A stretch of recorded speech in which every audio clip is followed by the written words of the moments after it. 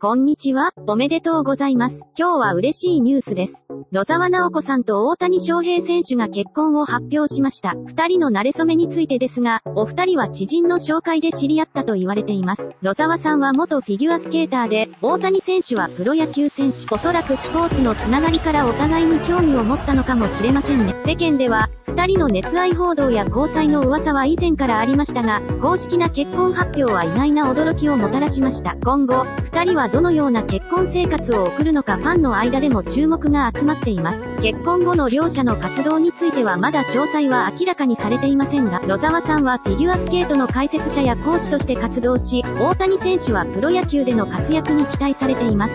2人にとって、これから新たなスタートが始まることでしょう。また、ファンや世間からも結婚を心から祝福する声が寄せられています。野沢さんと大谷選手、末永くお幸せに、応援しています。